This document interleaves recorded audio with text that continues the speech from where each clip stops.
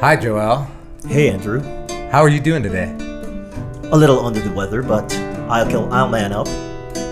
You're under the weather. Yeah, Well, you know the show must go on. the show must go on.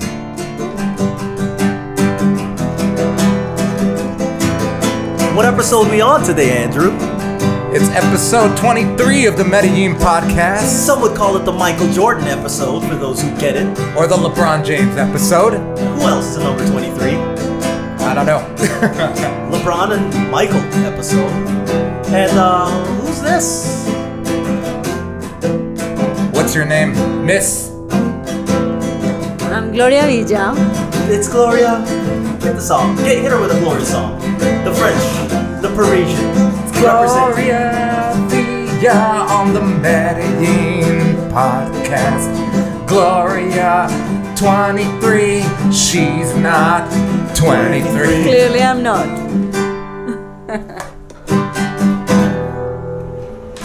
Woo! Woo! Taught him everything he knows.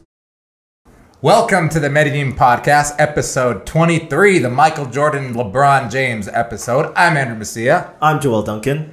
And today we're going to be talking about some interesting things with an interesting woman, a Paisa woman to be exact. Before we get to that, Joel, what are we drinking today? Uh, well, today I'm basically drinking a cube of ice. They call me the Iceman Chocoladel. And um, I may or may not put some of this, uh, how do you say that? How do you even pronounce that? You're like an international woman. Glenlivet?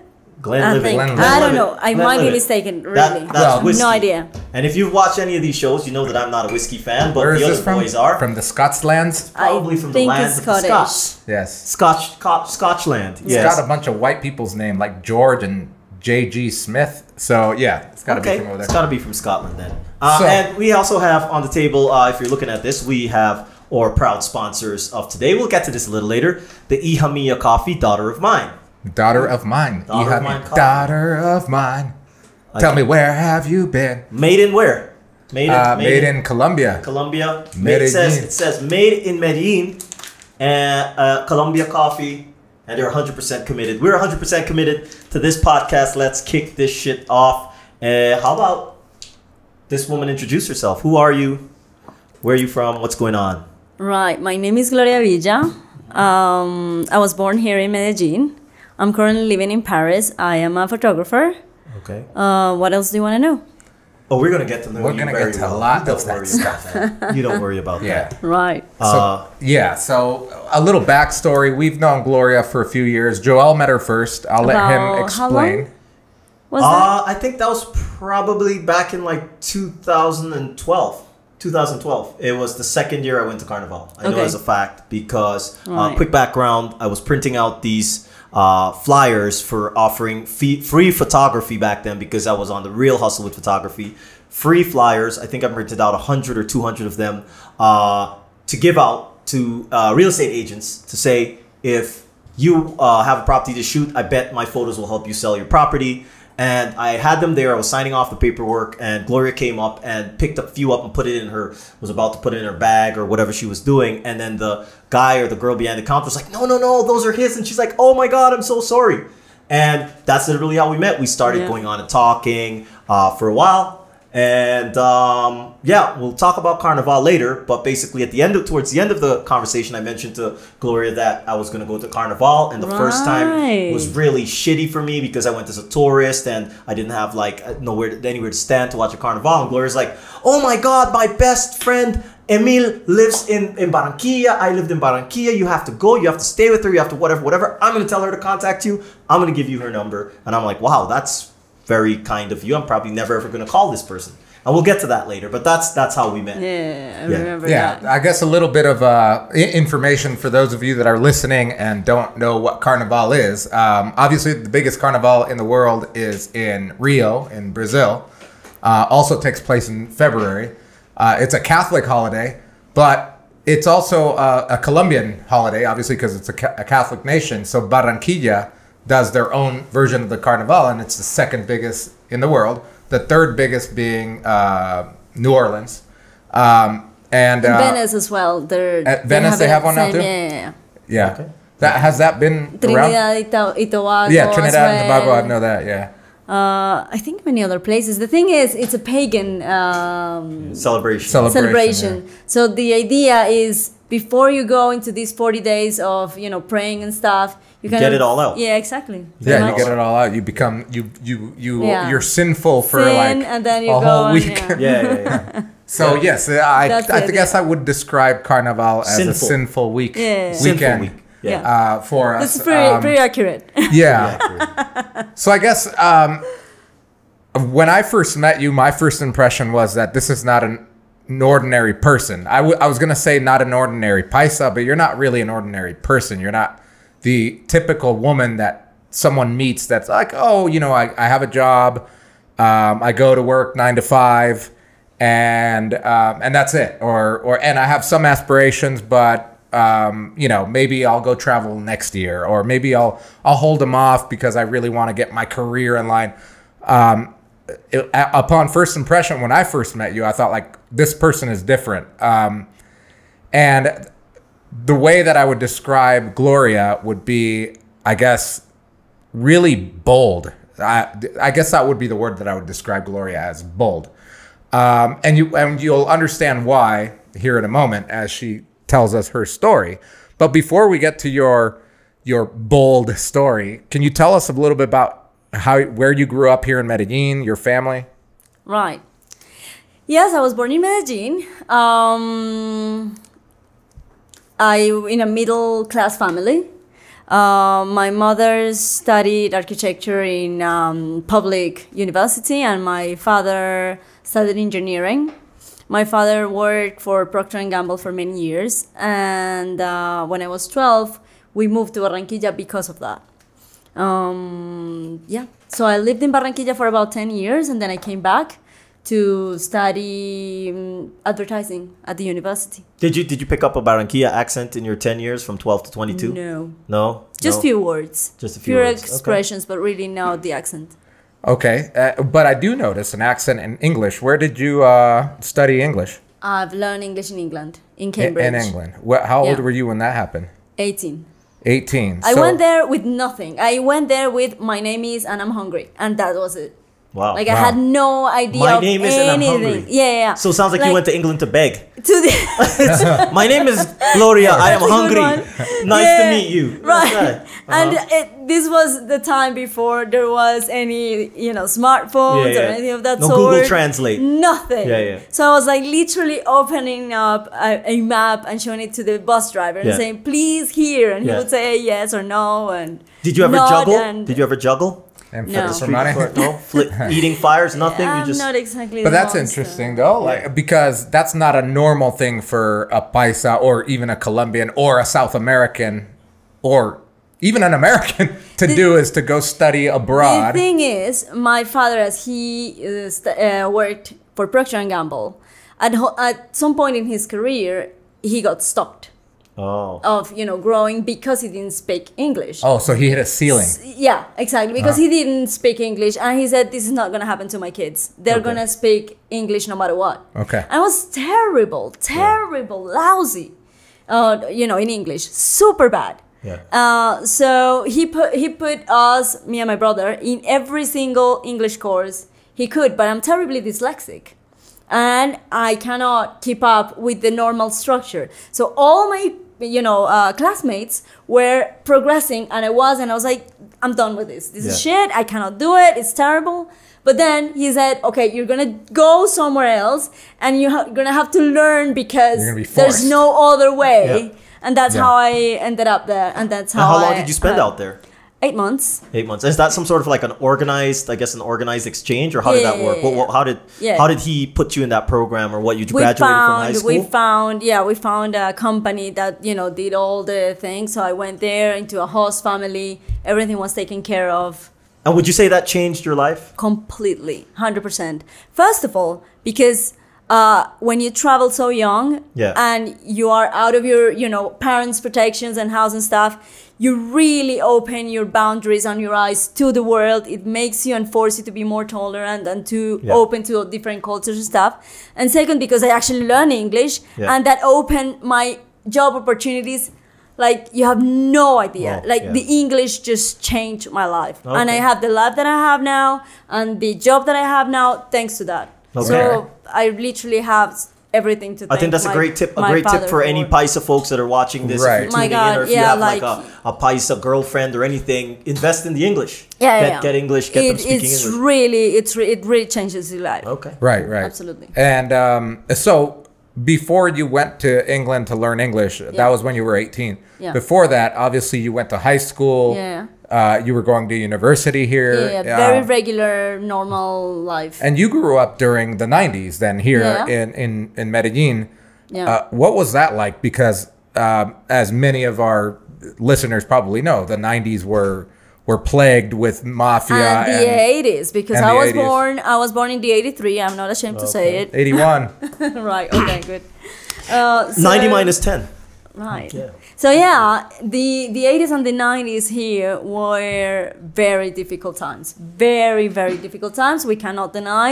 Hmm. This was very dangerous and it was very difficult to live here. In fact when my father has had this opportunity to go to to Barranquilla it was 1995 and my mother didn't think about it once. Wow. she was like Let's get right outta here." let's get out of here. I'm i'm fed up with this Okay. So so you and then so 95 you went to Barranquilla. yes So in 2006 is when you came back here? Ah. You said 11 years later. How long did you spend out there? when was it I, I came back from england in 2003 and then i think i started university 2004 or something But okay, so oh, 2004 here. Yeah. yeah something Oh, like okay. that And what did you study here? advertising Advertising. What university was that? Bolivariana Oh yeah, UPB. yep Yeah. But wait a second. So I you- play for their no- uh, I play basketball for their alumni No team. I'm not even. And are you an alumni? Hell no! I didn't even graduate university. Oh, alumni. Uh, so, so wait, wait, but there's something that's missing from this story. Yeah. So your family moved out to Barranquilla. They still live in Barranquilla. yeah they do You come here for university Yeah. at 20 years old or however old you are. yeah something Okay. 20 something By yourself? Yep You started living by yourself at 20? yeah You see, now that to me is something different for a Paisa girl or a Colombian girl, just about any girl. a South American Any- person. yeah, yeah. Like That's if you true, think that's about true. it, and even maybe many millennials from the United States Yeah. that have to live with their parents yeah. Yeah. because they don't. I mean, I think in, in the world, someone that is 20 Yeah. going off and living on their own is not very common. And so, as a woman, True. even and- more challenging. Yeah, and as say. a, a female, yeah, exactly. So, when you got out of university, um, did you start working in advertisement right away? So I did my internship in one of the biggest um, advertising agencies here in in Medellin. It was like the dream job that everyone wanted to get. okay. And when I did, I didn't like it. Okay. I didn't like the life of uh, an advertising agency, the whole ambience. It was just not for me. Um, plus, I told you I'm dyslexic. I'm, I really are. Yeah. So I just couldn't keep up with the job. It was just Right. too detailed, you know, and I had to keep up with everything. I just couldn't. Okay. So Yeah. no, it, was, And- it wasn't for me. So, I I guess I didn't know I was dyslexic at the time, though. you didn't. Oh, Yeah. so you just thought there was like I- it's too I- hard. It is too hard. It's too hard, and I don't want to do it. Yeah. Yeah, um, I guess maybe some people, I, many people actually write to me on my blog because I wrote a, a piece about doing business in Medellin, and they ask me about the opportunities in Medellin for marketing. Yeah. Do you think there, if I'm like an international marketing student or an international business student or just a marketing student, and I want to come and experience Colombia, but I want to get a job here, do you think there's opportunity for them or it's a good idea? I think this city is booming. It's amazing all the opportunities. Uh, sorry, all the opportunities that there are here, but I don't think you should come and just look for a regular job and hope to make it. There's Yeah. so many things to do. Just be creative Okay. because there are you know there are many many. I don't know. I just come up with an Airbnb experience, for example, every single day when I wake up, I'm like, oh, what about if we do, I don't know, uh, a tour in this and this and that, or what if I, we offer this? Like, there's so many things, so many things to But, offer. but there's something. But there's something about that though. You are entrepreneurial because we can talk. Um, we're, we're True. going to get to your present, but you're definitely entrepreneurial because I've known you in other businesses, which we'll get to for a second. But that way that you're thinking like, oh, why don't we create an air, uh, a tour experience on Airbnb? I would say 99%, 99.9% of this world cannot do that. They, they would not come up and think like that. They'd be like, oh my goodness, I gotta figure out how I can make some money. I gotta get a job.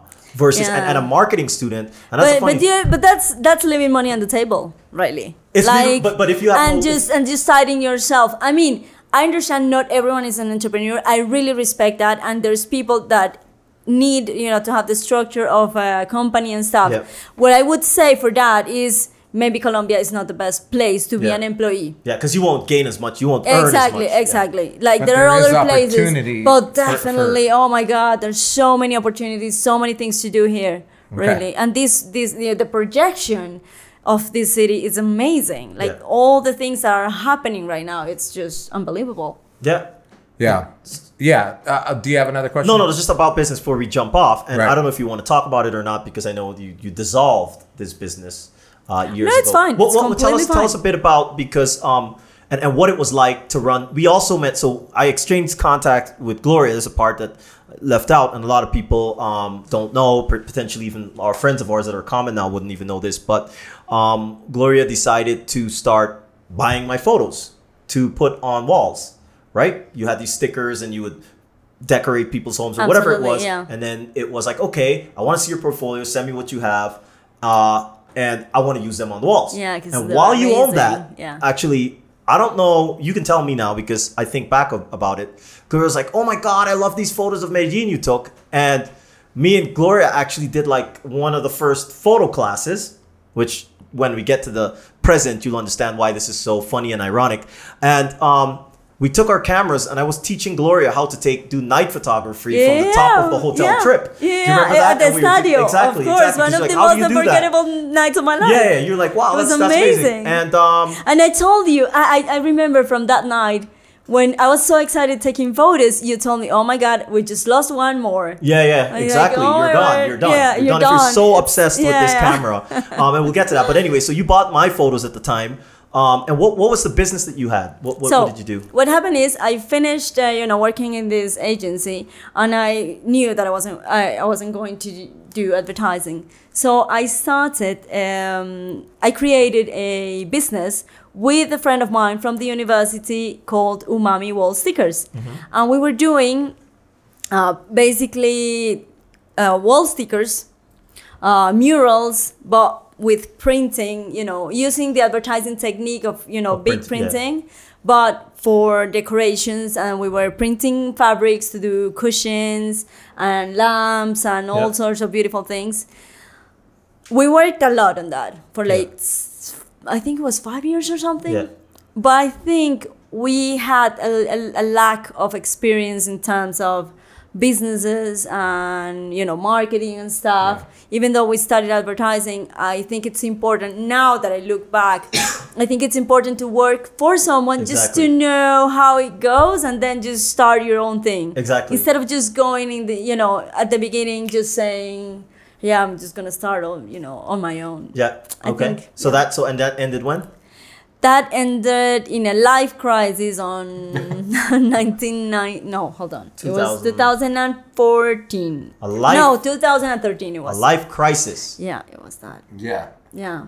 So okay, and so I guess what I want to express to the uh, to the audience listening, and by the way, people watch this on YouTube, uh, and they also listen on a bunch of podcast networks and stuff. Um, is that she made a life changing? Deci- I mean, various obviously life changing decisions. Um, one was obviously going abroad to learn English, and that changed your life. Um, becoming an entrepreneur changed your life. And then your most life changing de- decision, I think, just as an ex- uh, spectator in your life, was the one to go to Paris. yeah So, absolutely. and that's where you live right now, yep right? exactly that's And correct and you're a professional photographer there. yeah exactly So, can you take us and the audience through the journey of you leaving Medellin and going to uh, to Paris? Yeah. Well, I guess first, uh, Joel brought up a good question earlier that I thought I was thinking about. Like, what made you want to leave Medellin?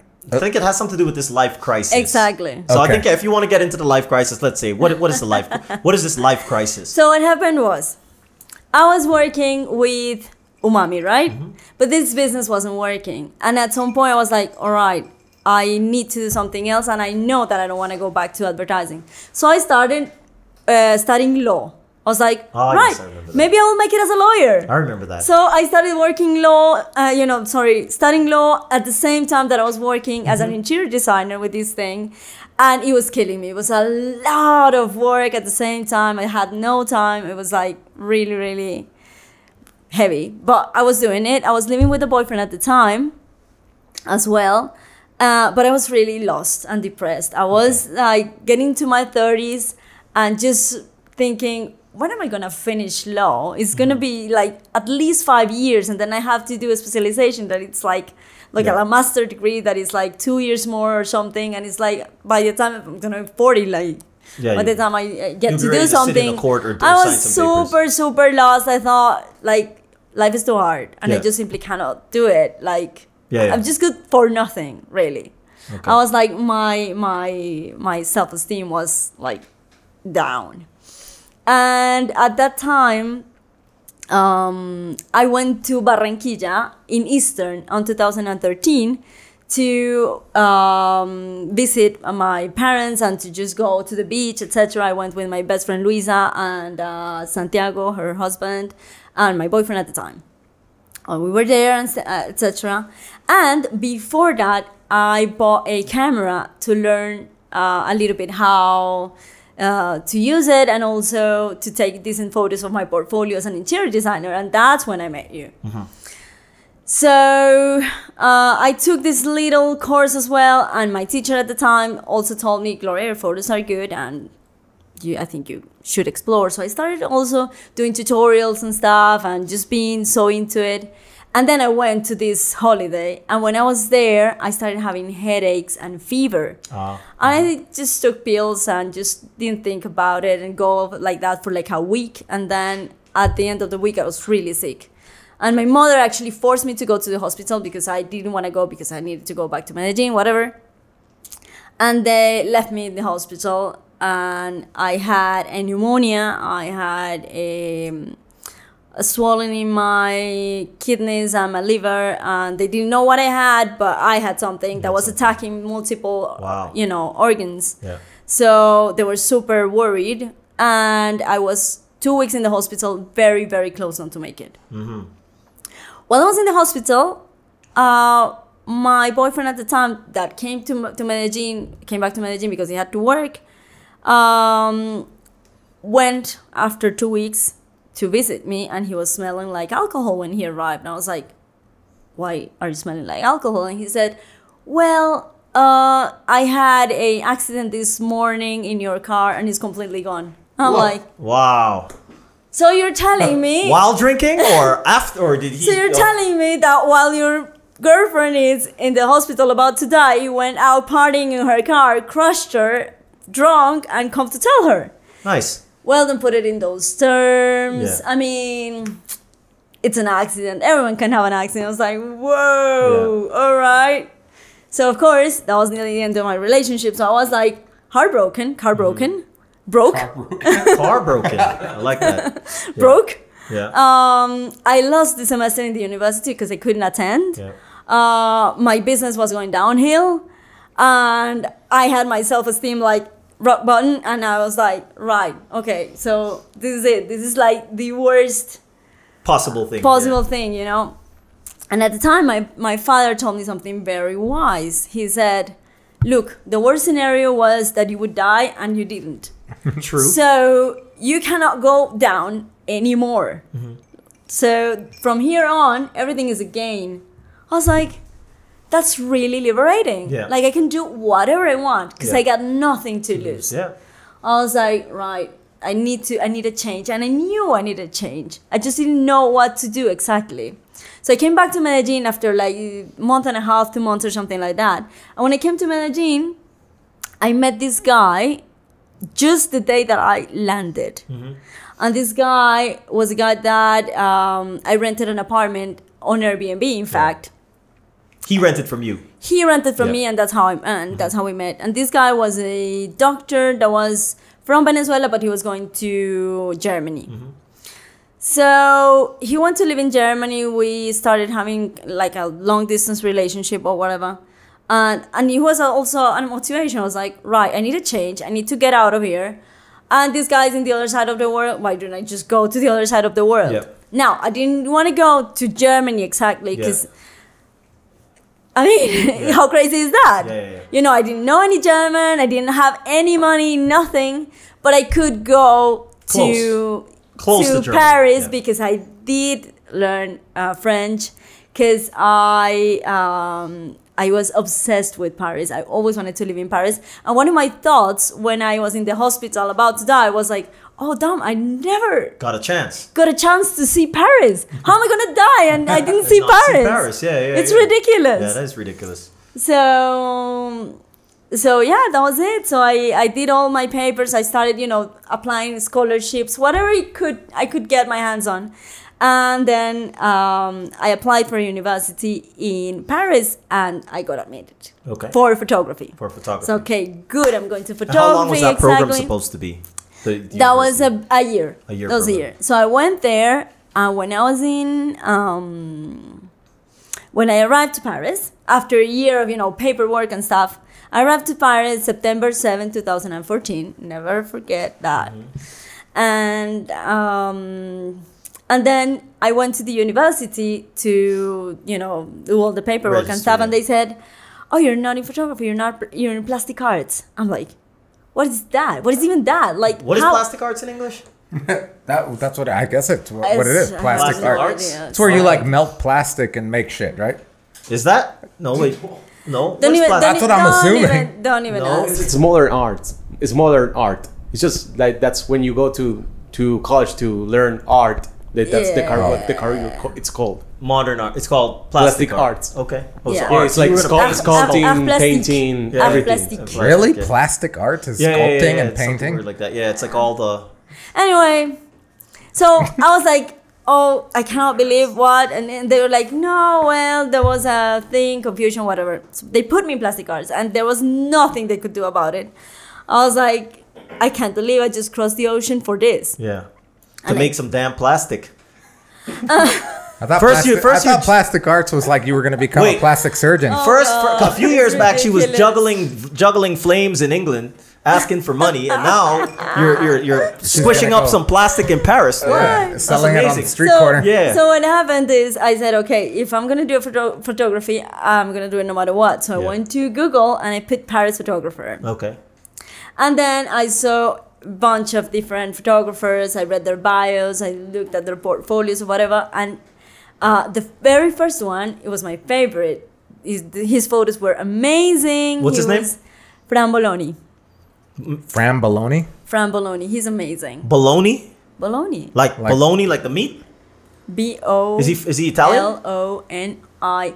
No, he's from Romania. Oh, okay. Oh, okay, okay. Oh, Romania. Romanian Count bologna. Dracula. Never had bologna. Yeah, he's bologna actually from Transylvania. Is he? Yeah. What? That is probably Dracula. Disguised as a bologna.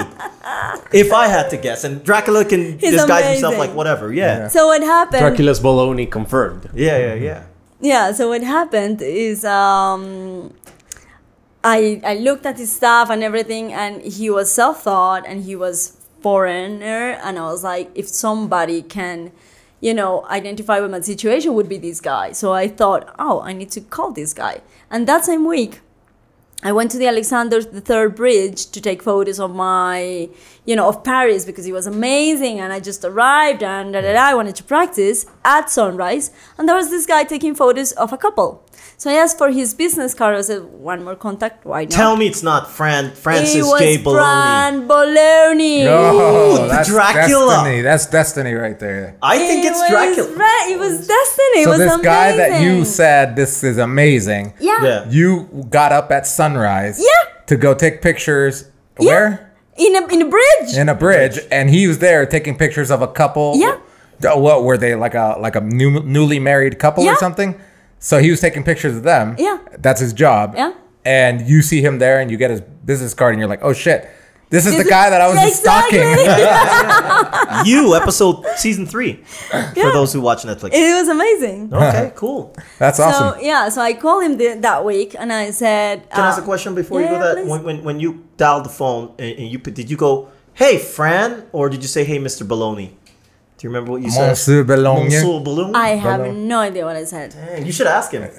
You call me Baloney or anyways? Yeah. So anyway, so you're talking to Mr. Baloney. Yeah, so I was, uh, uh, I talked to him and I said, "Hey, hello, this is, uh, my name is Gloria. I just came uh, from Colombia. I don't know one. I, I, I know no one in the city, uh, but I want to learn photography. So I want to be your assistant, Yeah. and I will trade uh, knowledge for work. I, I, I can be your assistant for free, Okay. uh, but you teach me." Okay. And he said, "Yeah, okay, come to one of um, one photo session." It's like, okay, perfect.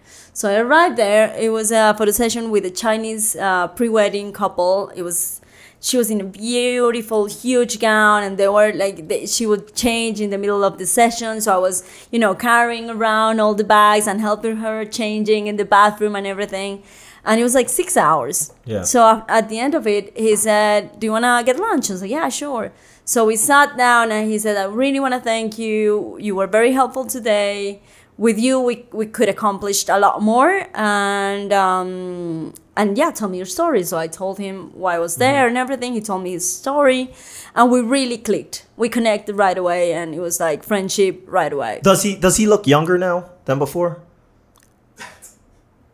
Yeah, what do you want me to? I just want to know. that? Does he look younger than when you met He him? is not Dracula. Oh. Oh, okay. I I was just Damn it. checking, man. I don't know. I was expecting her to go, and then he sucked the blood out of my neck. in two weeks. And now I'm the undead. yeah, you know you're undead. But he, you're but undead. he does says that he doesn't like garlic though. He doesn't that like garlic. He doesn't like garlic, and he's afraid of the cross. He is a cr- He doesn't go to churches. And you've never seen him out only at sunrise in the morning. Yeah, and yeah. he Sunrise leaves real runs quick. home. There's something going on here. No, no, no. I, I think he's safe because he does wedding pictures and he has to go inside churches. Nothing Sunglasses, has though, happened. right? The guy is. So how yeah, long ago? He was, hasn't burned. How long was this uh, ago? Was this when you met him? that was December 2014. So does Count Boloni still do wedding photography nowadays? Even better. He's Oh, so his amazing. business has grown. Uh, yeah, yeah. He's the guy that you told me charges a minimum of eight thousand euros. Is that him? That does weddings? You said there's some guy that his wedding No. packages start at like eight thousand euros. No, no, no, but it's that's not him. Okay, that's what yeah, is- but, but but he, that's probably he's got videography. he, yeah. he's, Oh, yeah, he, he already he's grown now he's grown his team now so he's got four photographers and one videographer working for Wow. him so and it's yeah, great and I remember um, because in 2014 was when we were still broke, still trying to get shit off the ground here Yeah. in Medellin we with were our all broke digital uh, marketing. um, but yeah, but we yeah. So anyway, we um, I remember that we were in that position, and then you were over there, and we're like, wow, she made it. Yeah, we thought we, you made it. We were like, damn, she made it because we saw your pictures, we saw you were part of their team. Uh, can we say the name of the team, the the name of the company? Yeah, absolutely. Kiss Me in Paris. Kiss Me in Paris. Yeah.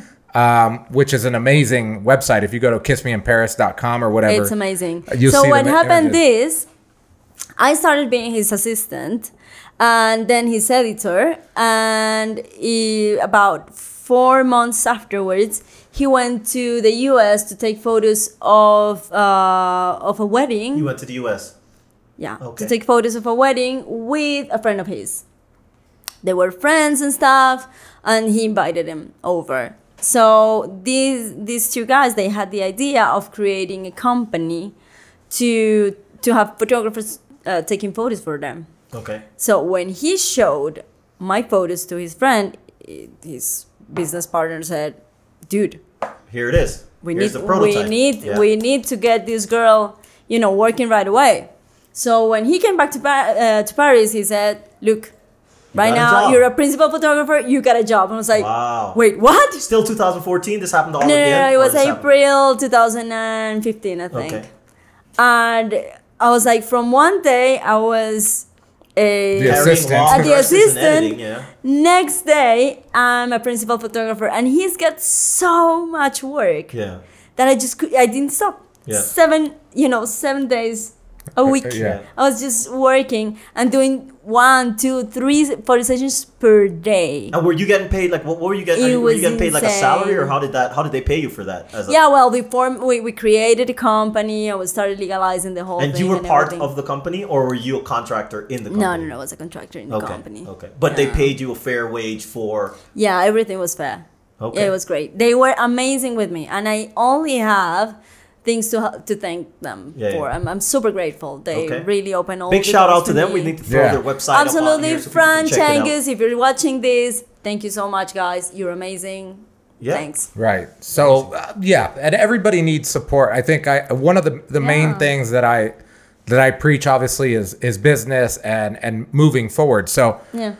I guess one of my questions is that when you were there, when you were trading your hours of training for knowledge, Yeah. who how were you paying for your life? Like Thank.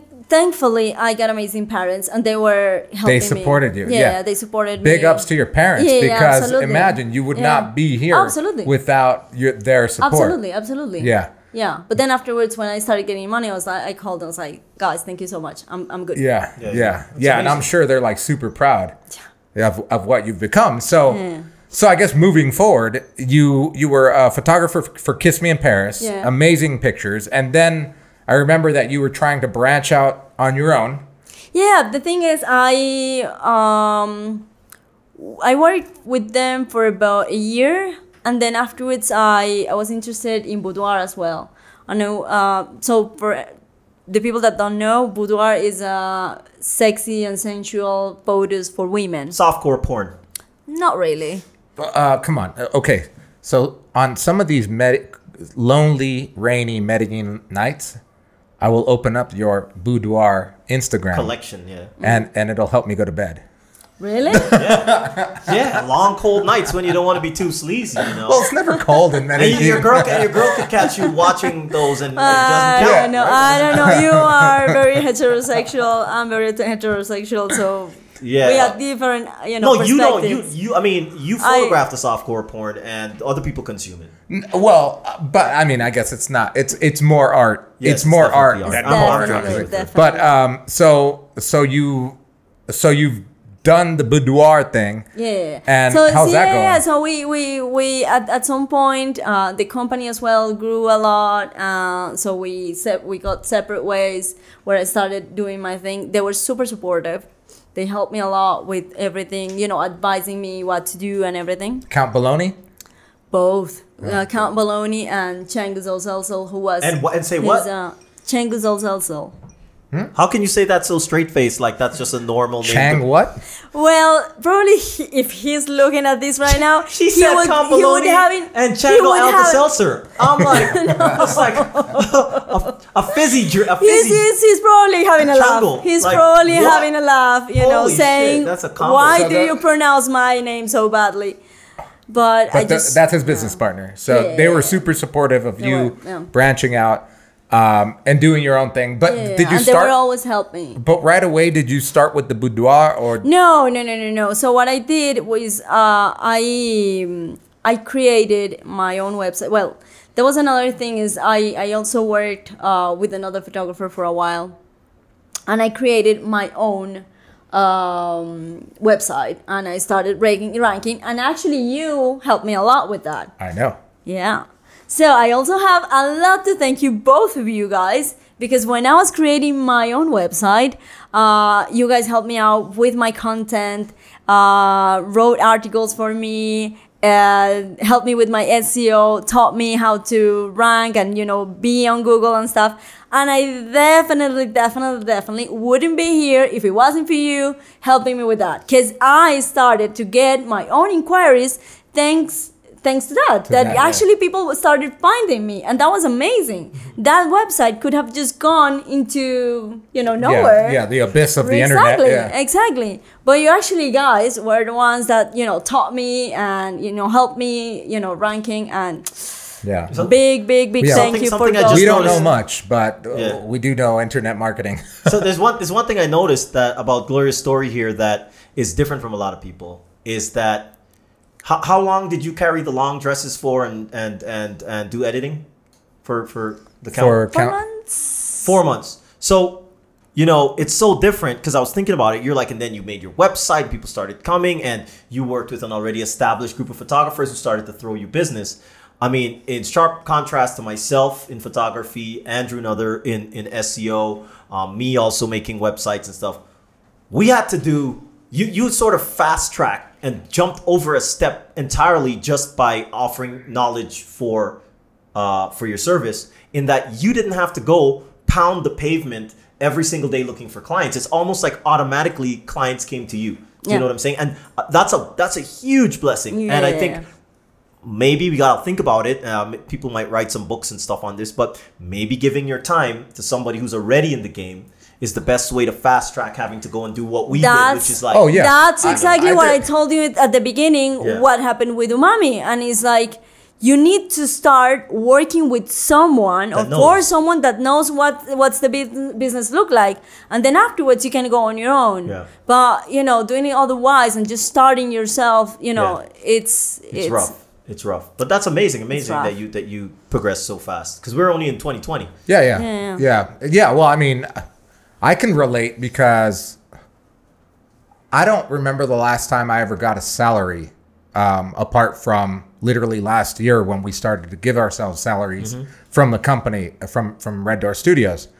Um, I worked for free for bankruptcy attorneys in the United States just to learn marketing from them. I worked for free, um, literally selling perfume on the street on consignment. Um, so there's no salary there. Um, yeah, I've, I've never actually really had, I've never been really a, sa- a salaried uh, employee. So I don't know what that's like. But I think it's kind of my upbringing because my parents have never really, they've never been salaried employed e- either. They've always been entrepreneurs, immigrants, especially uh, being illegal immigrants for a time in the United States where you can't really be a salaried Yeah, employee. exactly. You have to become a, an entrepreneur or starve. Um, where where we I couldn't skip that that part of like oh going for uh, trading my time for for for knowledge. I actually had to train trade time for knowledge and hustle to get extra cash to survive. True. So it, it prolonged my learning experience Yeah. for by, by about 15 years. Yeah, yeah, yeah. Yeah. No, it's it's it's. I mean, same as try, try, just trying to think about it as you said that. I have been a salaried employee employee for four years, and um, I had uh, I think eight months more um, that I worked for uh, to a year for a research firm before I first started um, jumping around Latin America. But in total, I mean, I'm 39 years old, and in total, I've I've worked on a salary uh, for five years, and the last time was 2010. but it taught you when I- stuff. Oh, definitely. I think like Andrew asked a very interesting uh, interesting question about marketing, and you said something like, for example, oh, there's tons of opportunities here.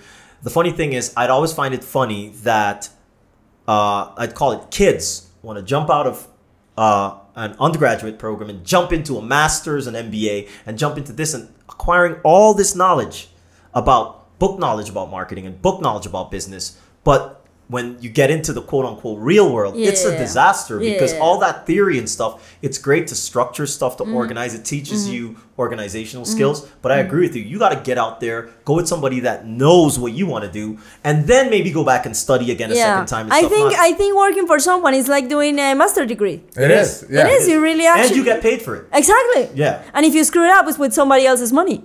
Well, I thank God. I thank God I screwed up because I did an exam called the GMAT. In order, that's the exam you do to go to do your MBA. Your, Uh, and my thing was to do really well and get a fully paid scholarship. And I got top grades in the English, and I got like uh, C level or C plus in the math, which wasn't enough to give me a full scholarship. But if I decided, oh fuck it, I'm still gonna go do an MBA, I would have spent fifty-two thousand Canadian dollars for eight months. And I would have had that nice shiny piece of paper, but I've been fifty-two thousand more in debt. And at that point, I was already about thirty-five. Yeah, yeah. And so I decided not to and uh, headed out into the real world um, and not get a job, which is is basically what we all um, we all did. Uh-huh. Well, you know how at the Medellin podcast we like to be kind of jovial and robust and rotund like this little Christmas guy here called Santa Claus. Well, today we want to give back to the community and give back to our sponsors. So today we want to plug Hija Mía Coffee. Joel, tell them a little bit about Hija Mía Coffee. Well, Andrew, for one, I'm not the one that really knows a lot about the textures of the mouth that you do, but when this hits my tongue, man, it's like an orgasm in my mouth. Um, and and and it, this is actually what happens to me when I drink a cup of Hija Mía. I grow hair, and it spouts out just like that. If if we had a cup right now, I would show you. Well, now you know, boys and girls, if you want pubic hair on your head, Yeah. drink some Hija Mía coffee, straight from Medellin, Colombia, right downstairs. And if you be a good boy and girl this year, big old fat man Santa Claus might just give you a bag. Yeehaw! Yeehaw! So, you're a Colombian woman nearing your 30s at the point where you're hitting, uh, you're, you're going to Paris. Uh, had you been to Paris or Europe before? No. England, yes, you had. England, Okay, so England. Paris, no.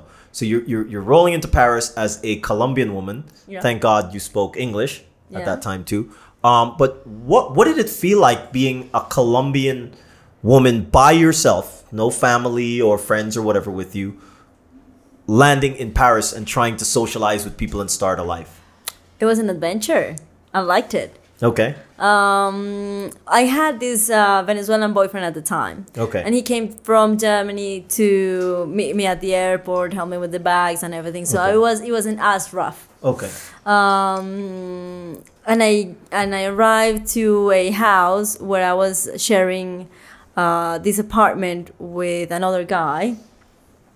And uh, Colombian guy? no, no, no. So it was it was the uh, the aunt of a guy, a French guy that I knew that I knew here. He told me my my aunt has this this uh, room for rent. Okay. So they are they were teachers.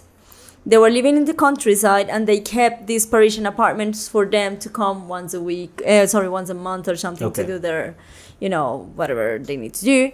And their son was living in the apartment, so they had one extra room that Okay. was Was available, Okay. and they rented to me. So I arrived there; they were super kind, super nice people. so I had. Uh, a good place to stay. Yeah. But, but what I mean, what I mean, and that's that's really good that you had some level of support. What I mean is, when you walked out onto the street, people knew right away you weren't from Paris. they, they still do. They still do. So in fact, if, when I'm in Paris and I go to a restaurant and speak in French, they reply in English wow, every single time. yeah, chip is. yeah. So so so, but but they do that, and w- w- when they go, oh, so where are you from? Uh, how would they say it in French? Where are you Tu viens from? d'où? But in, in English, English French. How would you say? Where are you from? Here they would go. Where are you Where- from? Where are you from? Okay. where from? so what do you know. do at that particular point? You tell them you're from Oh, I want. Colombia. Colombia, yeah. You say Medellin, Colombia. what do you Yeah. say? You got to represent Medellin everywhere you go. You can't just be like Colombia. I no, I actually say Colombia, South America, so people Okay. know exactly where you know the globe is located. And what is their reaction when you say Colombia? Uh, there are mixed uh, reactions. Normally, they're very uh, they lo- they love Colombia. Okay. They're like, oh my god, no way, that's so cool. They're uh, like always. Yeah, yeah. Normally, uh, from time to time, you always have the oh, do you have any drugs or Yeah. yeah, Pablo Escobar, whatever it is, and but I just don't pay attention. It's like yeah, whatever. I mean, I mean, yeah. When, when, when I say I'm Canadian, people, Americans, everybody will be able the a boot. Uh, Yeah. Do you know what a boot? Where's the where's the Where's the su- poutine the, the the- syrup? Yeah, the, syrup. maple syrup. So there's stuff. I mean, Well, that's good stuff. I It's mean, good stuff, good. yeah, Yeah, yeah. it's good stuff. It's not like oh, d- have you decapitated or cut anyone's limbs off for cocaine lately? yeah, yeah. yeah, it's a little better. I guess asking if you have maple syrup is a little better than asking if you but have the worst cocaine. part cocaine, when, yeah. when I grew when I was growing up, the worst part is you know I'd say yeah I'm Colombian like in high school whatever. Yeah. Oh, go you got drugs? I'm like yeah. How Yeah. much you want? Yeah, yeah, yeah. How much you want? Speak to the Colombian guy over there, Andres. Yeah. yeah. So, so still today, you're you say you're from Colombia, and they, Mm. they make those comments. Have you ever had any but- negative experience being Colombian, where you felt like, wow, I feel really terrible for my people, or no, or you've always Well, recently I had a thing. I don't know if it was well. It wasn't completely tied up to the fact that I was Colombian, but I was doing um, like a bureaucracy kind of paperwork in Paris, and I handed a paper that I needed uh, to be replaced Okay. um, in this office. And the woman said, I will- I will not do it. You can just go. Uh, this is a valid paper and I have no obligation to give you this. I was like, but I need to, I need to because I'm going to travel. Otherwise, I have to cut my, my trip short. And she's like, I don't care.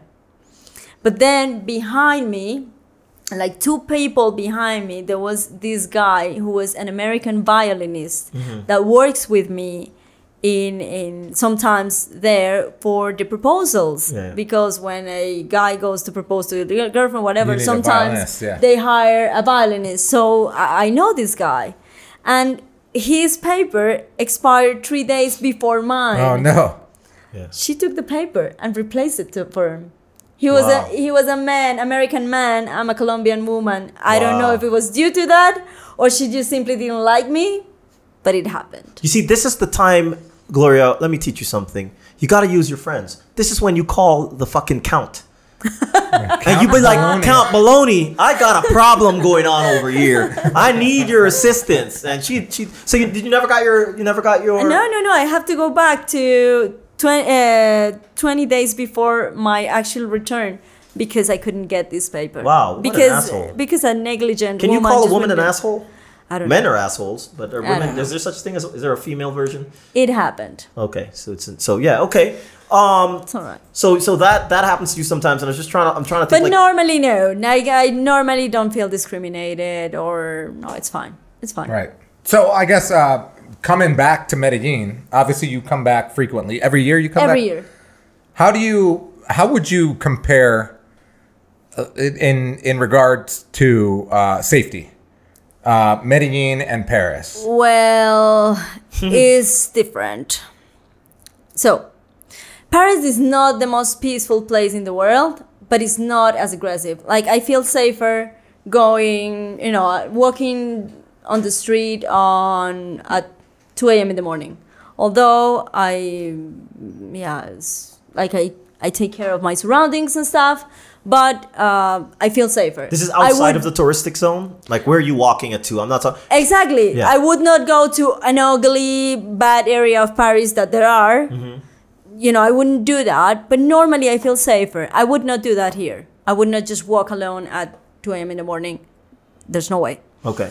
But uh, there are loads of thieves in Paris. Like, you have no idea. But what kind of thieves? Like thieves like that hold you up at knife point or pickpockets? Pickspo- pickpockets. Pickpockets. But yeah, like Europe is full of pickpockets. insane, insane, insane. You have no idea how many.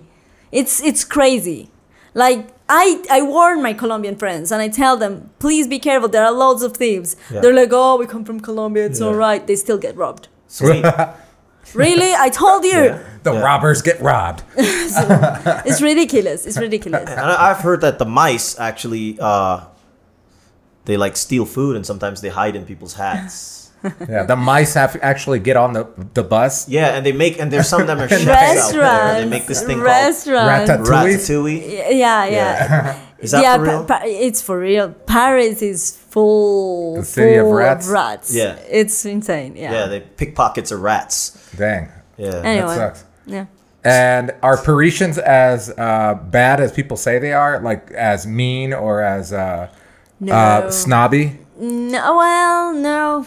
The things are changing. Things are changing a lot. I think people, new generations, are traveling more. They're receiving more and more, More pa- tourists, yeah. Last year, it was like 40 million people. Holy shit! Forty million. Just for Paris. That's almost the population of Colombia. That's ridiculous. That's a lot of people. Yeah. That's a lot of people things just have for to change. tourism. Exactly. So people get used to things get to change. It's kind of like so here. it's It's, kind of like here. Things have. yeah. Uh, it's obviously less than forty million, but things have changed. For example, would you have ever thought, growing up here, that Comuna Trece would be a tourist destination? never. Never, ever in your life, No, right? no, no. Ever. Just never go yeah, there. like even me uh, growing up and hearing about Colombia or Medellin and like Comuna Trece, eh, Manrique, eh, Sa- eh, San Juan, San Javier, I was like, Mm. Man, that shit's dangerous out there. Yeah. And now those are like de- tourist destinations. Yeah. There's actually like the electric stairs and there's like bars Yeah. and cold brew coffee that you could get, like cold brew coffee in Comuna Trece. Yeah, that's crazy. That's unheard Yeah. of. But but things change. Yeah, and they're changing for They're- better. and fast. But Yeah. why? But why you're saying changing for better? Like for example, like here, the food scene is changing rapidly. Um, the number of people that are speaking English has- has changed rapidly because in 2011, when I got here, it was very rare for somebody to even engage in you in English beyond "What is your name?" or something like that. Now people are going on with full conversations. What is it about? You're saying it's changing rapidly. I think Andrew asked, uh, uh, "Do the French live up to this reputation, which is probably a stereotype of the whole of France?" But they're they're they're stereotypes. What is the reputation that that that they're getting better at? That you're saying. What, what what's your compared to Colombian people? You walk out on the street in Paris. You start a conversation. You're in an elevator. How do you feel here in terms of warmth and people compared to Paris? Well, uh, there's definitely differences. I mean, here, for example, people hug a lot. Yeah. We touch Yeah. a lot. Yeah. And it's normal. But when they come here, they think you're hitting on them. Right? People So- think you're hitting on them. Yeah, if you if you bring a, fo- a foreigner, uh, Yeah. like a French person or a German person, and you put them in the middle of Medellin, and you get them with with with people from Medellin, they will think, God, I mean, this person is hitting on me. No, it's like, yes, how are you? right. It's Yeah, fine yeah, and yeah. stuff. That's normal for us. Yeah. We touch, Right. we and hug, Not we only that, smile, we kiss, we literally kiss. to say hello. Yeah. And Yeah. I've seen that actually. And then they're like, Yeah. "Oh, this person's hitting on me." No, it's not. Yeah, yeah. He's just trying. He's just being kind. Right. It's all Yeah, right. yeah. so, Yeah. yeah, Okay. You yeah. get that a lot. Yeah, it's true. I've I've seen that where um, I'll meet like a, a foreign woman or whatever, and she'll be like, "Whoa, this Mm-hmm. person's trying to kiss me right now," um, but it's really just saying hello. So, Exactly. So you have to know it's like, "Oh, hello." Yeah, and Let's shake between and between friends, we actually hug, like Yeah. proper hug, Like a Yeah, proper yeah. hug, not like the a weird, proper hug. not We the wet really, fish. like, it's so good to see you, and you hug for a long time. Yeah. Oh, Yeah, my yeah, favorite for though. a long time. Yeah. Yeah, but but yeah, sometimes when you shake someone's hand from another country, Oh, yeah. and I have some countries where I've met so many people now that there are countries where you know you're gonna get the limp Oh, handshake, I hate mm-hmm. that. and it's a man, and, Cultures, you, yeah. And you're like, wait,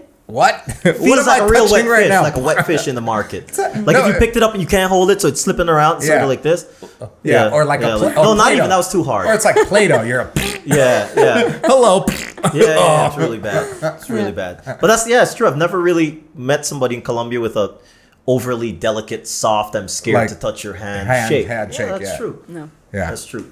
Um, and so being a woman, one of the things that I, I like to uh, touch on is basically being a woman here versus being a woman in France.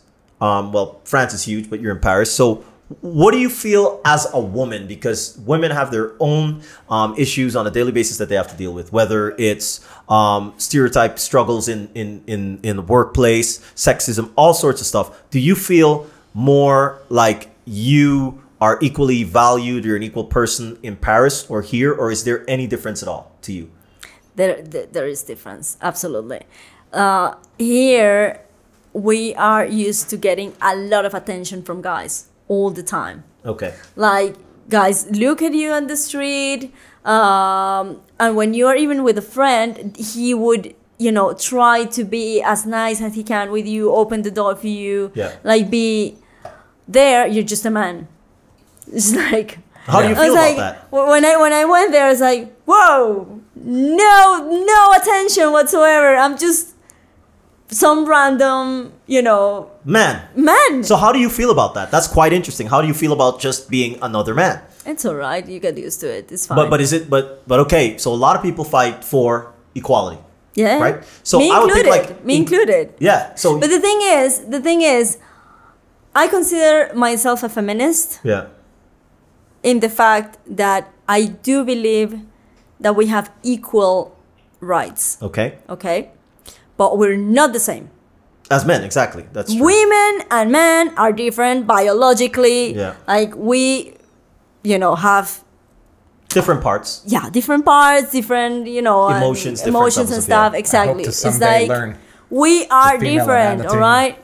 um so i'm not uh, one you know feminist that try to be just just as a man Yeah, i'm yeah. not a man and i'm proud of not being a man i love being a woman and i want to explore my femininity as it is. Yeah. Right. But when there's no one to explore your femininity, that's a problem. no, no, no, no. It's not a problem. Okay. It's not a problem. Just simply, it feels different, Okay. but it's fine. Yeah, I think it's sort of like if you reverse that, if I went to uh, It's just that you're you're used to be having a lot of attention, Yeah. and then all of a sudden you don't. But it's all right. But how do so It's then fine. how do how do Colombian girls? I thought well that's got to be a European thing because I know Latina women in the U.S. as far as I know, at least in Canada, get a lot of attention just because well more in Canada so because they're more different looking, they're more exotic. yeah, so I but don't go- know. guys are not so upfront. As here. Here it is. Yeah. Well, it depends on which part of the United States. I know the boys down in New York would strongly disagree with that. They are very, very aggressive. Okay. Then again, I don't, I, I don't Well, know. Well, I'm that would be speaking for like in a bar and I drinking, am- probably, Yeah. but not like sober in True. school. Yeah, Yeah, exactly. yeah. On the metro, no. No, they got to go take a class to do that. They don't even look at you in the metro. They're Wow. like, Wow. Okay, that's that's pretty cool. shy, Yeah, it's so. called it's uh it's uh it's called uh, the emasculation of the world. Like men are becoming more emasculated because women are getting more rights and more um, more equality. Mm-hmm. So guys probably, or it seems like to me that they've become more emasculated, and I don't see that as a bad thing. I think you know it's an equal Yeah. playing field now. Yeah, like yeah. the woman now, the balls in your court, girls. Yeah. Come and hit on me. But not even that. I think I think like what you're saying is it's really it's really it's really true because you've you've made a good Still point. haven't gotten hit on once. like Darn. like the thing is the thing is I, I- and I, I honestly um believe that okay so yes maybe the men feel more emasculated because before it was basically caveman style i'll just go take what i want i'm the man Oonga, oonga. Oonga, oonga. i'm gonna go take what i want But I and think now- like the, the the term emasculated takes uh, is has a negative connotation. Yeah. But in this day and age, being emasculated, it's almost like it, it, it's accepted. So that's It- my point. That's where I was going. I don't think you need to be emasculated in order to treat somebody and be an equal. Mm-hmm. Do you know what I mean? Right. Keep your quote unquote manlyhood, but still treat the person Yeah. equal. Yeah. And don't look at it as like, oh my God, it's a woman. Oh, I can't say, I can't do, I can't whatever. Just keep that side and don't be emasculated. Just treat equally. But that's that's where I was getting with that. That I think. yeah, that yeah. There's and what uh, happens in in Colombia, I think, and and I've seen it a lot, is that in, in machista cultures, because I grew up around a lot of Mexican people, Central American people, and they're very machista. Um, you know, the the the the patriarch of the family is the the man, and et cetera, et cetera. But they become emasculated later. It- yeah, It's, it's always in those countries, either here in Latin America, even in eh, in the Arabic world, it's always like that. Like he's the king of the Of the house, castle, yeah. but she's the one that really really rules. runs the house. Yeah, she rules everything. does that be every- she manages the money. She Yeah. manages everything. She tells. She's got the She last does- word she's and got the everything. kids but she her. just let him play the part. Yeah, yeah.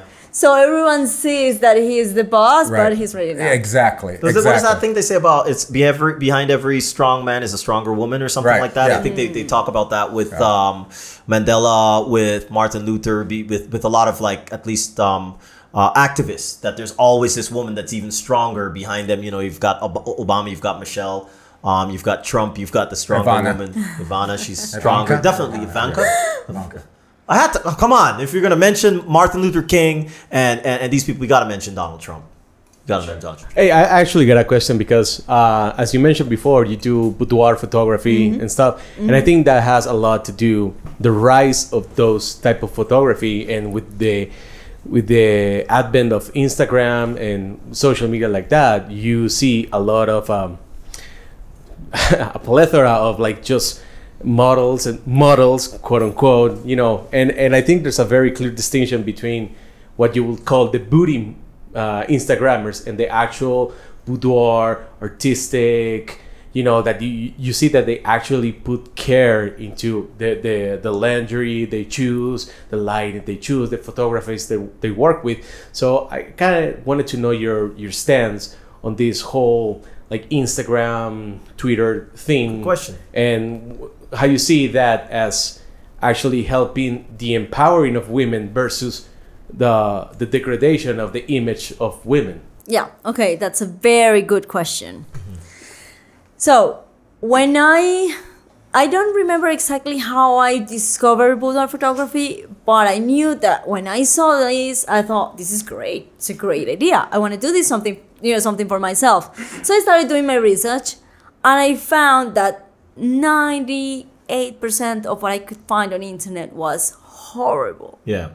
So Like tacky. tacky, mm-hmm. disgusting, cheap. Yeah, it's cheap. I was like, no, no, no. It's no, but no, which was the joke I made at the start. It nor, you more find porn than you do find Oh, art in nudity or art in semi-nudity. Yep. I was like, I would, me as a woman, I would never Yeah. put my most intimate image in front of this. Yeah. Oh, this is terrible. I thought I could do it better. I definitely know I can do it better.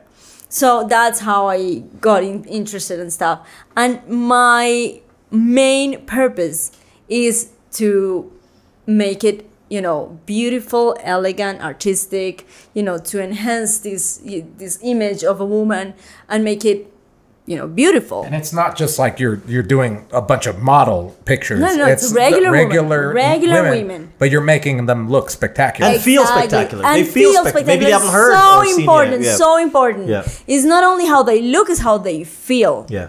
It's because there is a lot of psychology behind it. Mm-hmm. I need to make them feel beautiful. I need to make them feel empowerful. Yeah. Uh, some of them come with a lot of, uh, you know, self-esteem issues and stuff. We like, there's no woman on the earth that is like, yeah, I'm perfectly happy Yeah. with my body. Yeah. Everything's Right. great. No, no, no, no, no, no. Yeah. Like we all have something to say. Oh, I wish I had, were whatever. yeah. So um, when I when when when you were talking about the Instagram and stuff, um, I definitely think this um, this boudoir photography really uh, put women women into value because we all the time I other. Oh, I'm not that I'm not I'm not as slim as Kate Moss, so I'm ugly, or or My boobs oh, are not as big as exactly as an ass, so I'm not Whatever. whatever I don't deserve. I'm not, you know, whatever. Nobody's gonna like me. Nobody who's I, I cannot get a boyfriend because who's gonna Yeah. Yeah. want me like this? You know, it's all of these insecurities, but also is the sexual fact. Is the one the fact that you have to be a good girl. And good girls don't do this. Mm-hmm. They don't explore their Yeah. sexuality. Oh, okay. They're not sensual. Yeah, that's a good point. They're not, you know, it's like, oh, sexy lingerie. No, that's that's not for That's good dirty, girls. yeah. That's that's dirty and that's not well, guess what? We have desire too, and it's okay. Yeah. It's perfectly fine to feel desire, to be sexual, to want to have sex. It's fine. So wait, Yeah. is this? But is this? Is this something that? So uh, just about the women that are coming to do this. Two, uh, there's many questions in one. Like who, when they get these photos, are they giving them to their spouse? Are they hanging them in their house? Why are they? Because I assume There's that after so that shoot, so many Yeah, things what are they that I doing? What is get. it? Like I get so many things. I get from I'm gonna get married. I want to give them for the wedding night, or my you know I want to give it to my boyfriend, her birthday, whatever it is. That's one. But I also get I got divorced. I my self esteem is shit, and I really need to you know yeah, lift. yeah, lift yourself. lift it. Or or I've been a mom for the last three years. I had no life for the last three years. I felt like a mom, but not like a woman. I really need to find a little bit of you know Yeah. sex appeal again and stuff. Wait, and just just to correct something because you're going there, and it's something that for for those who've been following along. So what Gloria told me, uh, correct me if I'm wrong. Ninety percent of your clients are American or Chinese? American or Chinese In France. In in France. France. Yeah. So that's a great fact that people need to know. So mm-hmm. people are coming from the U.S. Yeah. to France Yeah. and looking for boudoir photography Yes. because you're not finding them; they're finding you. Yeah. So they're in Paris and they're in France. They're like, I just broke up. I have these kids. I'm gonna do something sexy in Paris for myself. I'm gonna and my tell you a story, a very interesting story, story right now. But let me finish with the, with with the with the options and stuff. I have had, for example, guys that wanna give uh, to to their girlfriends or spouses as a gift. Okay. I've had had women that have had breast breast cancer and then they had a reconstruction and they want to celebrate their new boobs. That's Yeah. amazing. Yeah. Yeah. That's cool. So they're like you can see the reasons for doing it. They're so different. It's it's really you know it could You should start interviewing some of those people. I think it'd be really it's, good. it's amazing. But all let me tell you this story about this woman that I did. She was amazing. She was from the U.S. and last year she was in Paris while there was the, the marathon. She was with her uh, husband. And she was running. Uh, no, she wasn't wearing. She was. She saw the, the marathon happening, and she thought, "Oh, I wish one day I would run this marathon." and then she went back to the U.S. and the guy uh, broke up with her and asked her for the divorce. And two weeks later, the guy got married with another Wow. woman. Yeah, two weeks later, and she was So he was going on with this relationship Yeah, for a while. Okay. And she was devastated and she thought about her trip to Paris. And the boudoir session that she had done before, she had done it for him. So she said, I'm gonna train. I'm gonna go next year to the to Paris. I'm gonna run the marathon and I'm gonna do a new boudoir yeah, session girl. for me. Wow. Good. Good. Not for anyone. Yeah. And she did that. And how did she look different? Did she feel different? Was her She attitude was different? amazing. She was Okay. happy. And she ran her marathon, did the boudoir. Marathon. She- Do you have? Do you have? Do you have? Do you have uh, both photos on your Instagram? I, I have photos of Like, her. in okay, the- so her for Instagram. those- for And those then- of- hold on, hold on, hold on. And we became friends, in fact. And after I think a month and a half or something, she went to travel on Eastern Europe with her uh, sister, and she was in Prague in a cafe with uh, her, and there was two guys sitting on a table. They started talking. The guy happened to be a professor in England, and they were, you know, on holidays too, two Yeah. friends, and they met. They, you know, got in a relationship, and now they're together. Wow. And the guy's moving to the U.S. with her. That's amazing. That's really cool. That's you're That's sparking. really cool. Were you like a cupid? yeah, you're like Crazy, a, huh? Cupid with a They camera call you instead the of an Colombian arrow. Cupid. Amazing. Yeah, the original Colombian Cupid, Gloria Villa, and she doesn't shoot with arrows; she shoots with a camera. So for those of you guys that are listening on um, on podcast or whatever, uh, watch the video because with Gloria's consent, while she's talking about this, we'll have the uh, uh, bunch of slideshow of Uh-huh. photos rotating of the people that she's talking about. I think that would be amazing for the viewers. Yeah. that watch the YouTube and the photos show. from before when you were shooting engagement shoots and weddings, and all the way to now. Yeah. Maybe you could. Uh, I still do that. I still do that, and Yeah. not so often, but I still do it because I love it as well. Yeah.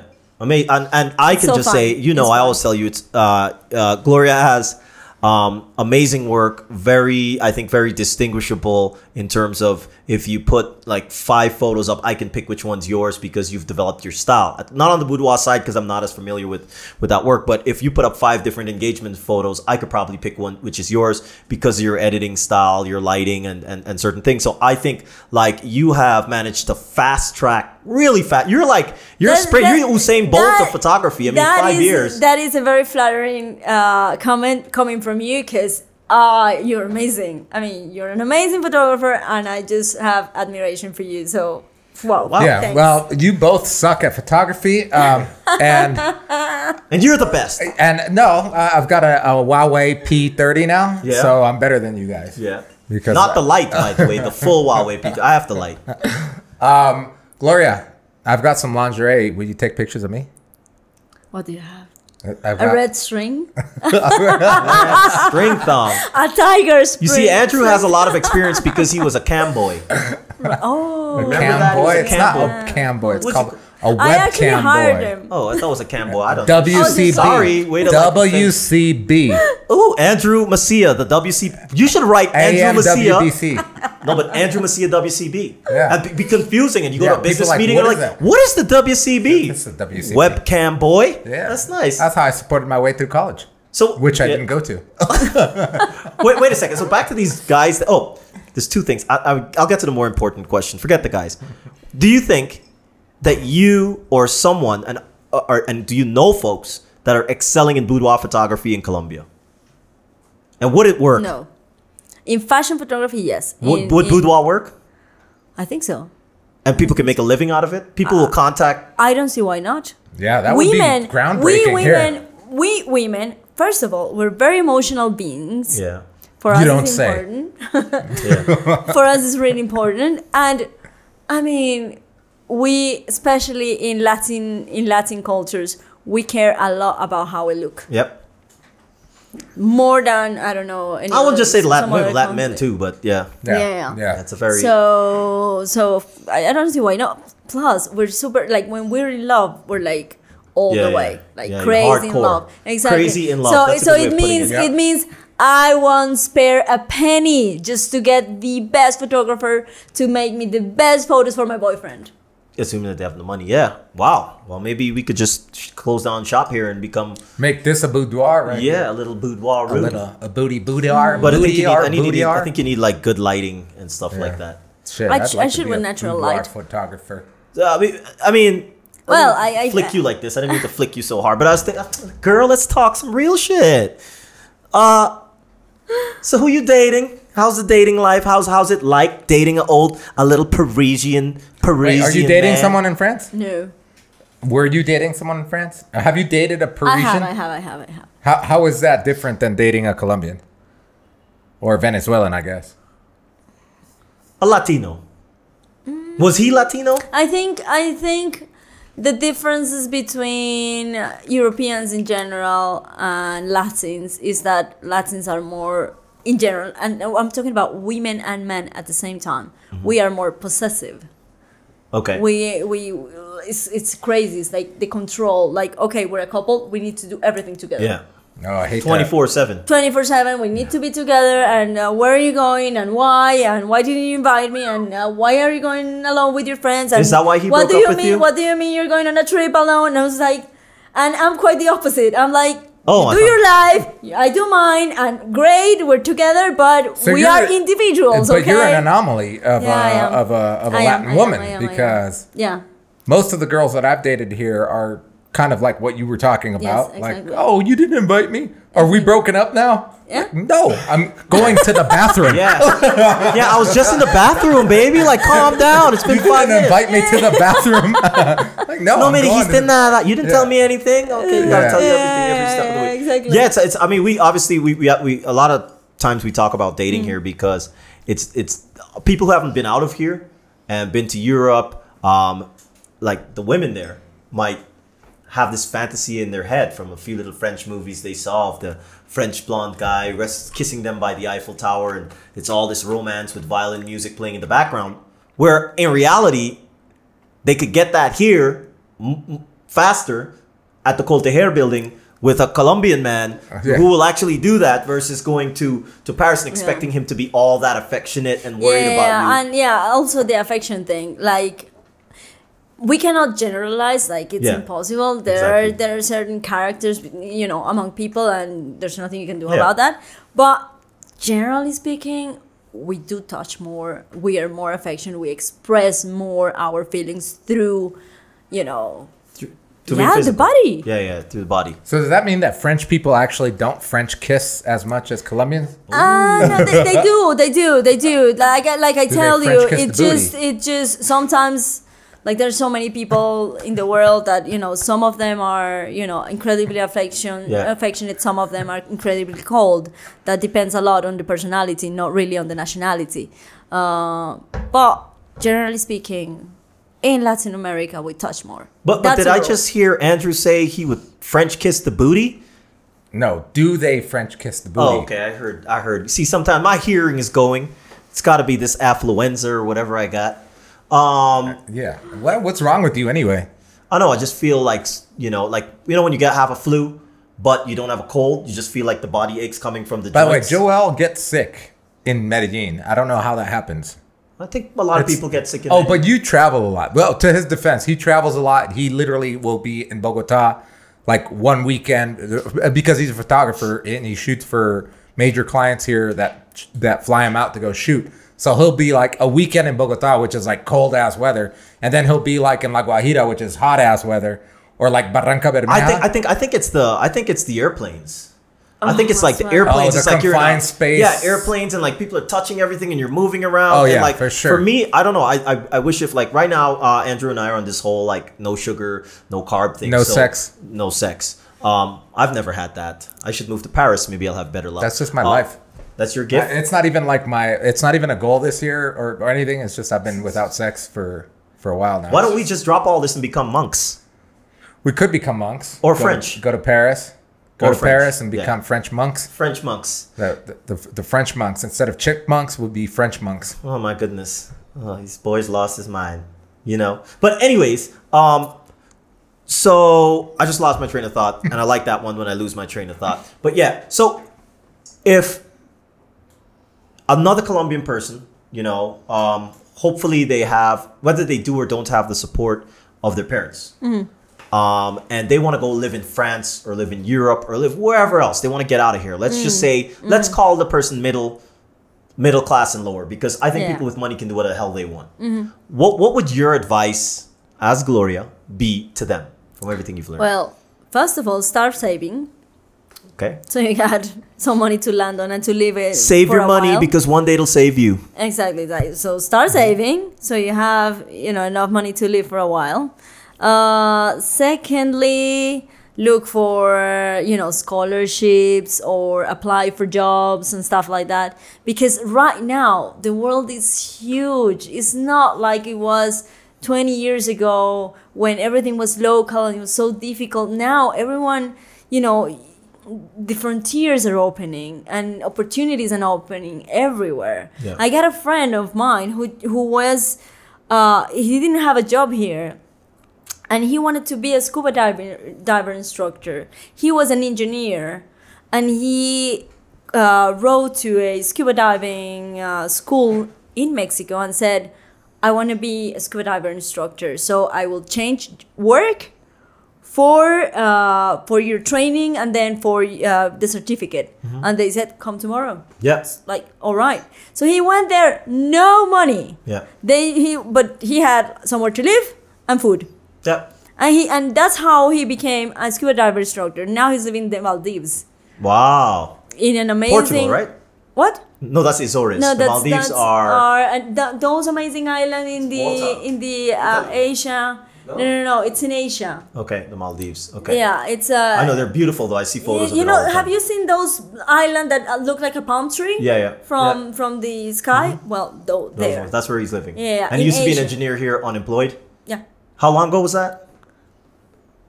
three years ago. Three years Three, ago, four, and he's yeah. he's a dive Three. instructor in the Maldives. Yeah, yeah.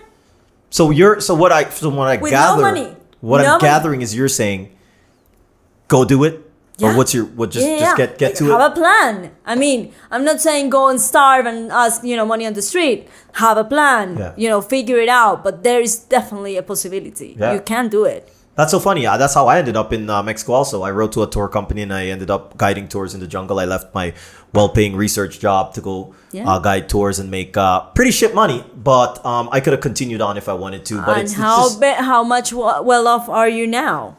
Like I th- I think it- great- It, it got think- you to yeah. a path, in, and from that path, it just everything started opening, and you started you know going your own way. Yeah. And Joel, what would your advice be to someone uh, that's middle to lower class in Colombia that wants to get out of Colombia and experience something?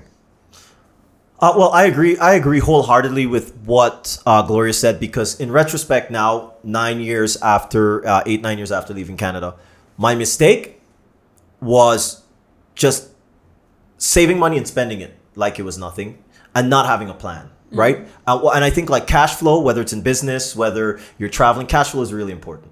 Now, uh, I would say if you don't have the parents or whatever, either do that, start emailing companies in advance if you want to go work. You know you don't have a, a marketable skill, or hit up. There's a lot of online forums. There's the Upworks, Fiverrs. If you're a graphic artist, if you're translator, if you're whatever, there are places where you can make your five and ten dollar jobs, and all you need literally is that five or ten, that one job. Mm-hmm. Right, mm-hmm. get and, and mm-hmm. that's not the limit. 5, 10, 50, 100 bucks, and that one job could pay you for like a, in a lot of places to travel and stuff a month. Obviously, not like like Paris, um, but I, I definitely think income and, and understanding how you'll make money. Don't just say it'll happen. It doesn't happen. It doesn't you Go, you, you spend all your money. Trust me, I did yeah. it. Um, and then you got to re- make the real moves. For me, I had to get down to the point of no money to like making the real um, bigger moves. And then the second thing is we talked about it. I think on the last episode, Andrew is literally Nike hit the nail on the head. Just do it. Get out version. I talk about it today with people also down in in Hija Mía. Get out version oh. 1.0. And two more things. First, believe it's possible. Yeah. Because everything's on the mind. Mindset is everything. And second, don't let the fear rule you. Yeah. Like there is a phrase that says, if you have fear, do it with fear. I like that. Right. And Yeah. you? it's kind of what she was saying. Uh, it's all a mindset. So I remember when I was broke, and I remember when uh, being in a jail cell for for a long time, uh, and that wasn't even my rock bottom, by the way. My rock bottom was living on the street, having zero money, trying to do something, living out of a car, but I never changed this thought in my brain. And I still say it to this day. One day I will be king. Literally, that's something I've never shared with anybody, actually. This is the first time I actually say, saying it publicly is that every day I wake up and I say, I will be king, meaning that today is an amazing day and it's and I'm gonna do something awesome. Whether it's make my fucking bed, whether it's help my brother do something, whether it's help my sister do something, whether it's help my friend do something, whether it's me go shoot some baskets. Um, but it's never to be negative. It's always to be positive. Absolutely. So I've never. It's it's easy when you are broke and you have no money to be negative. It's very easy, mm-hmm. and you'll have a lot of friends to help you be negative. Mm-hmm. Mm-hmm. Yeah. It's actually very difficult to wake up, smile, and tell yourself in the mirror that you love yourself. I know because it took me years to be able to do that. Um, so, if my my advice to someone that wants to get out of Colombia or anywhere in the world that they're listening to this podcast and like I I've got no money, I've got no family to help me, I've got no prospects. You've got to stop start with yourself. Wake up in the morning, Absolutely. look at yourself and say I will be king and I love you. Uh, trust me that it'll change your mindset for the rest of the day. It'll change the mindset for the rest of the week, which will lead to the rest of the month, which will lead to a better year. So, uh, I guess closing thoughts and statements for for Gloria. Thank you for being on. Um, I think I've learned a lot about you. I didn't even know about you before, and I have so much more respect.